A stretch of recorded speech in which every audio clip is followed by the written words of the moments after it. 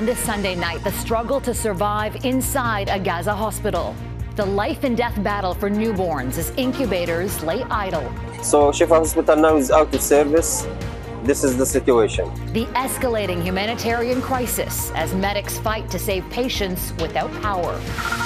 Ceasefire now! Demonstrations in 40 locations across Canada calling for a ceasefire. The non-stop bombing, a four-hour ceasefire, it's ridiculous. And a Montreal Jewish school is hit by gunshots again. Canadian fashion mogul Peter Nygard guilty of sexual assault. This is a battle won in a much bigger war. What his son says happened when he spoke out against his dad. And how dust from 66 million years ago changed life as we know it.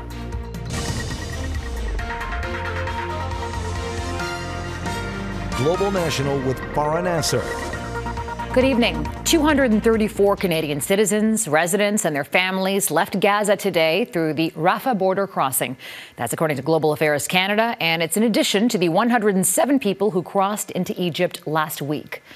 Inside the enclave, healthcare is crumbling. The World Health Organization says Gaza's largest hospital is not a functioning hospital anymore.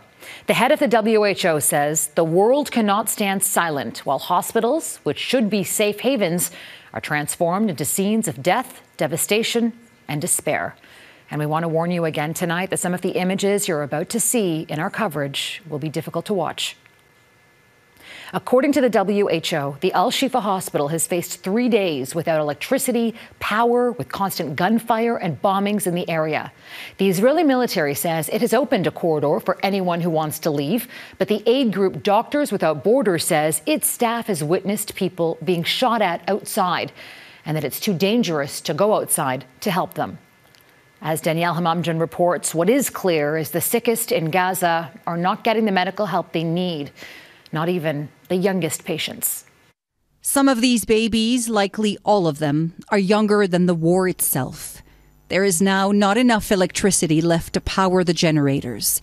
It means having to take the newborns off their incubators. Doctors at Al Shifa Hospital say the women's ward was bombed, and so here they are, sleeping next to each other on a single bed. At least three have died. Staff say they expect to lose more day after day. We are uh, nearly sure that we are alone now. No one hears us, but we want someone to give us the guarantee that they can evacuate the patient. Satellite images show the destruction of hospitals in the enclave. Shifa is the largest of them all. Doctors Without Borders says medics and patients are trapped inside due to heavy clashes around the hospital complex. Even if you are wounded or injured or in the Gaza area, you cannot be evacuated by ambulance to Shifa Hospital. So Shifa Hospital now is out of service. This is the situation. But the Israeli military offers a different account, claiming it supplied 300 liters of fuel for urgent medical purposes Here's a video it says shows Israeli troops placing jerry cans near the hospital, as had been coordinated in advance with officials at Al Shifa. Israel says Hamas then prevented the medical center from receiving them. It has also repeatedly claimed that Hamas's headquarters are located under the hospital. The focus of the Israeli military campaign, one bolstered by weapons supplied by its staunchest ally. But the U.S. is warning Israel. We do not want to see a firefight in a hospital where innocent people, helpless people, uh, people seeking medical care are caught in the crossfire. The Al Quds hospital also announced it was out of service and still in northern Gaza and in the dark. Surgeries at the Indonesian hospital are being carried out in corridors. That's Mossab Sobih's little body on the floor. Doctors tried to save his life using a manual resuscitator, and they succeeded. Over the past few days, more than 100,000 residents have been forced to flee south, not knowing if or when they'll ever return parents do not know what to tell their children, the anger is not only directed at Israel. This is not a way to live. The Arab world has let us down, he says. Why don't they come and help rid us of the occupation that is bombing us left and right? The whole world has let us down, he says. The progressive world that boasts about human rights has let us down. Over the weekend, Israel said its forces would take the babies from Al Shifa Hospital to safety, but now claim they've not been told how to get them out. There are at least 40 newborn babies off incubators, and Farah, the clock is ticking. Certainly is. Daniele Hamamdjian in Jerusalem tonight. Thank you, Daniele. As Israel lays siege on Gaza, there are more signs the situation is escalating beyond it. On the border between Israel and Lebanon, Israeli forces exchanged gunfire and bombardments with Hezbollah fighters. This after the Iran backed militant group fired missiles upon Israeli border villages. More than a dozen people were injured, including Israeli troops. It's the latest skirmish after weeks of fighting in the region, triggered by the crisis. And in Europe, the conflict is further opening bitter divisions. Across France, tens of thousands of people marched against anti Semitism following a rise in hate incidents. And in the UK, there is more political fallout after police arrested far right protesters looking to interrupt a pro Palestinian march this weekend.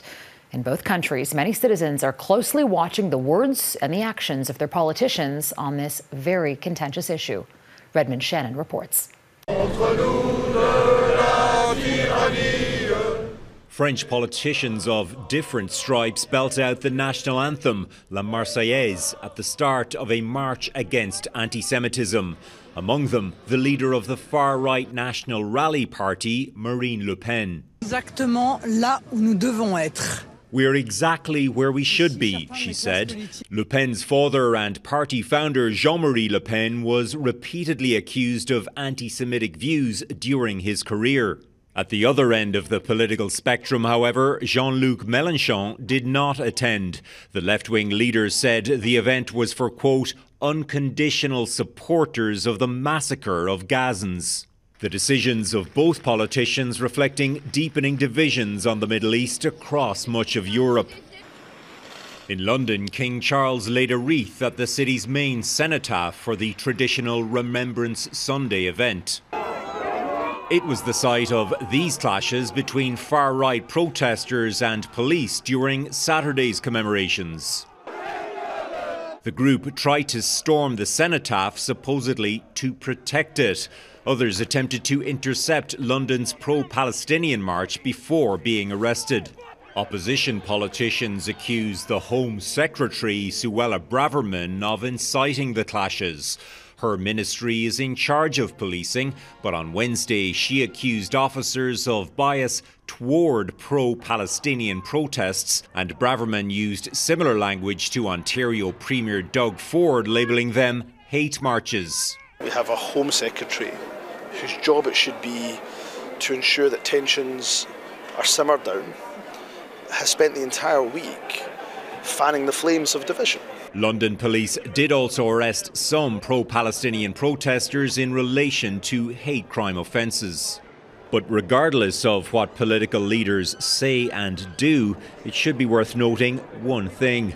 The vast majority of those taking to the streets on both sides of the English Channel this weekend did so peacefully. Redmond Shannon Global News, London.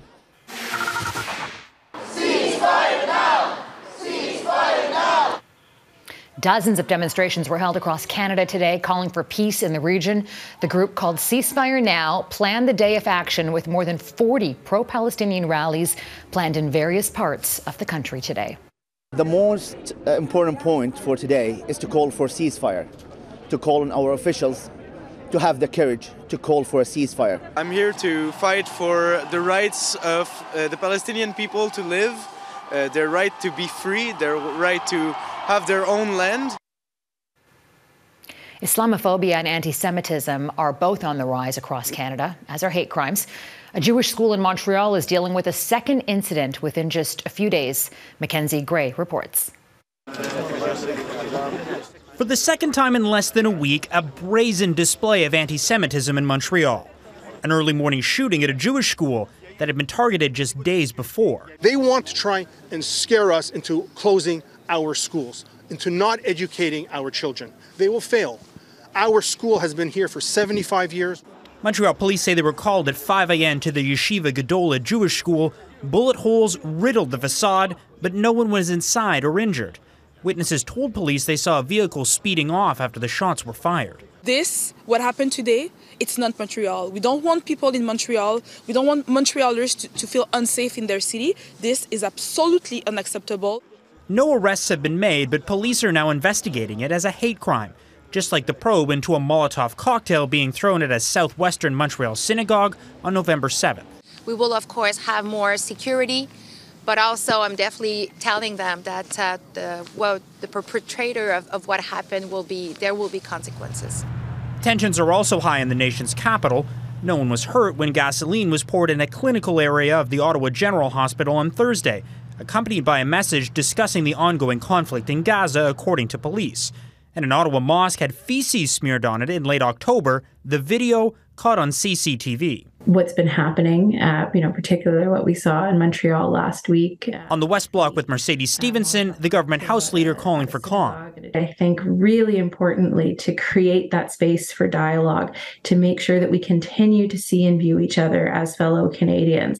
Conservative leader Pierre Poilievre labeling the unknown perpetrators of the shooting as terrorists. Our school, Yeshiva Gedolah of Montreal, has been the target of a terrorist attack. I say again, a terrorist attack. That sentiment is supported by some backbench Liberal MPs, but so far, no word on what the Prime Minister thinks, Farah, as Justin Trudeau has not made a public statement on the shooting. Mackenzie Gray in Ottawa. Thank you, Mackenzie. Jurors have found former Canadian fashion mogul Peter Nygard guilty of four counts of sexual assault. He was acquitted on a fifth count and a charge of forcible confinement. Mike Drolet with the jury verdict reached this morning in Toronto. Guilty. He's guilty. Shannon Moroney broke the news to Peter Nygard's victims. Women she had worked with as a trauma therapist, their stories now validated by guilty verdicts on four counts of sexual assault. He was acquitted on one count of sexual assault and one of forcible confinement. It's relief, it's victory, it's joy, it's pain, it's disappointment. Nygard, the 82 year old former fashion mogul, was a self made millionaire who lived a jet set lifestyle surrounded by models and celebrities. Also in court today, his son Kai, who says he was silenced by lawyers and disinherited by his father in 2019 when he tried to come forward as a whistleblower. He says he felt vindicated when civil suits were launched six months later against a man he now calls a monster. I loved my father. It hurts me to see all of these things. I knew a different man, but when you get the reveal that there is another person, there's another personality within there, there's something evil in there, there's something perverse, there's something sick. Over the past six weeks, the jury heard from five women who testified they visited Nygard's Toronto office under the pretense of a tour or job interview. Each recalled being invited to Nygard's top floor bedroom suite where they testified they were sexually assaulted. When Nygard took the stand, he said he didn't recall ever meeting four of the five women. In closing arguments, the Crown said similarities in their testimony defy coincidence, while the defense called their stories revisionist history and totally preposterous, suggesting most of the complainants were part of a class action lawsuit filed against Nygard in the U.S. Complicating matters, the alleged assaults happened from the 1980s to the mid 2000s, leading to some witness inaccuracies in remembering details. And while the Crown argued that was to be expected, defense lawyer Brian Greenspan argued it wasn't merely flawed recollection, it was Alice in Wonderland. Greenspan says it's too early to say if they'll launch an appeal. His focus right now is to get a favorable jail sentence. Uh, as you've all seen, Mr. Nygard is, uh, is frail, has uh, numerous health challenges, and that will be part of the uh, position taken. Nygard's legal journey doesn't end here. He's facing more charges in separate cases in Quebec and Manitoba, and once those trials are complete, he'll be extradited to the U.S. for yet another trial. Mike Global News, Toronto. Serving for Canada and being served an eviction notice. Coming up, the plight of a homeless veteran this Remembrance Day weekend. A Canadian soldier who's done two tours in Afghanistan is homeless this Remembrance Day weekend. His home seized just as winter sets in. Melissa Ridgen explains.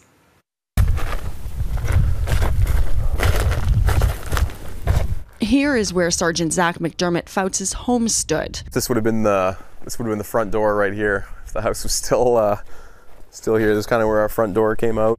A decade old fight over building permits and what the municipality calls safety concerns with the family of six's mobile home. When they first said that they would remove the house and tear our garage down, that we've been living here for nine and a half years. Um, it's not that I didn't take it seriously because I definitely took it seriously. I just thought that it would never get to that point because I mean, even, even if you can do something, doesn't mean that you should. But they did. On October 30th, Nicole McDermott Fouts was home with their two youngest when police, movers, and a flatbed truck arrived with a warrant to seize the home. I was actually nursing the baby. nursing the baby, and uh, Zach phoned me with a heads up, and I guess they were already at the gate, and by the time I got off the phone with him, they were at the front door. All she could do was watch from her car. Chin up. She and the kids are staying with family and come to visit their dad, living here in the garage. The rural municipality of Whitehead would not do an interview, but sent Global News a statement from their lawyer saying the property owners were provided appropriate notice and all procedures were followed in accordance with the Municipal Act and bylaws to remove the unpermitted structure. It's the talk of this rural community. Total shock. Can't believe that a house would be taken away from a family. Like overreach, I call it. Bernice Hebert started a GoFundMe for the family. In addition to losing their home, McDermott Fouts and his wife each face a $40,000 fine. The RM is billing them for the movers, storage container, and their legal bills. It's heartbreaking to see people in different countries who are really live under tyranny and then to experience a piece of that not even in, in your, your own country, your own prop, like, but your own home. Oh, well, I found my uniforms. Melissa Ridgen, Global News, near Brandon, Manitoba. Emergency evacuation ahead. Thousands in Iceland flee due to fears of a nearby volcano erupting. A series of earthquakes in southwestern Iceland is sparking fears of a nearby volcano erupting. Seismic activity has cracked open roads in one town, forcing 3,000 residents to move out of the area. The Icelandic Meteorological Office says there's considerable risk of an eruption happening at any time. An aviation alert has also been raised in response. And in India, more than 30 workers are trapped after a tunnel they were working in collapsed in a landslide. Rescue work is underway, but it's expected to take some time. Oxygen is being pumped in through a pipe to help the workers breathe.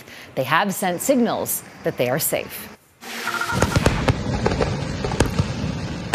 Across India, lights and oil lamps lit up the sky as millions celebrate Diwali. The Hindu festival symbolizing the victory of light over darkness began today.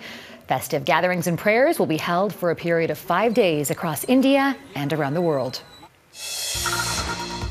Next, a new research that shows it was dust that did the dinosaurs in 66 million years ago.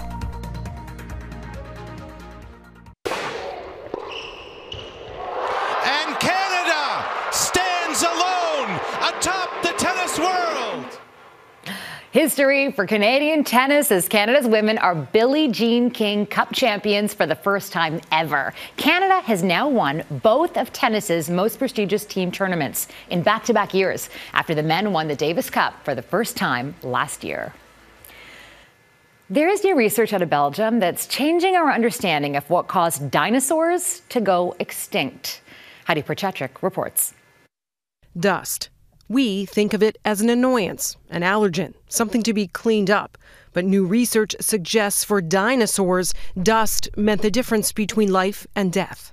It's indeed a, a thick layer of uh, silky dust uh, debris um, engulfing the whole planet. Scientists from Belgium went to Tanis, a fossil site in North Dakota that serves as a record of the geological effects of the massive Chicxulub asteroid, which hit Earth 66 million years ago, triggering the dinosaurs' mass extinction. They found a layer of ultrafine silicate dust there and decided to explore its role in that end. The first idea was to combine uh, this, this unique information coming from the field with our uh, newly uh, developed um, computer simulations. We've taken their animation of that simulation and enhanced it to illustrate.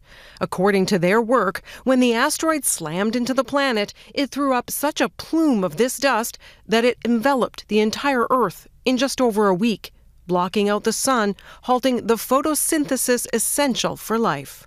Think of it like this dust storm in China a few years back, but for two whole years. This time scale uh, is indeed quite long to pose severe challenges uh, for uh, life in the aftermath of Chicxulub impact. And that basically causes the collapse of food chains, both on land and in the water. It means whatever the asteroid didn't kill in its fiery impact died later of the long term effects. It was the dust, they say, lingering another 15 years, that played the biggest role in dropping Earth's temperature by as much as 15 degrees Celsius. And animals are not good at dealing with that. So um, you just end up with these multiple cascading reasons for a mass extinction. An extreme example she says of what rapid climate change can do a reason why scientists monitor asteroids in our present day solar system for prevention after the big one left dinosaurs in the dust heidi petracek global news halifax and that's Global National for this Sunday night. I'm Farah Nasser. Tonight's Our Canada is La Pêche River in Wakefield, Quebec. Dawna will be back with you tomorrow. Until next time, take care of yourselves and take care of each other. Good night.